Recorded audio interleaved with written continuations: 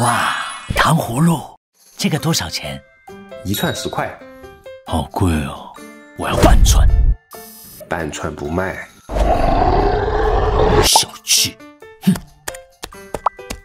老板，我要两串。啊！儿子，你长大了，知道给爸爸。都是我的。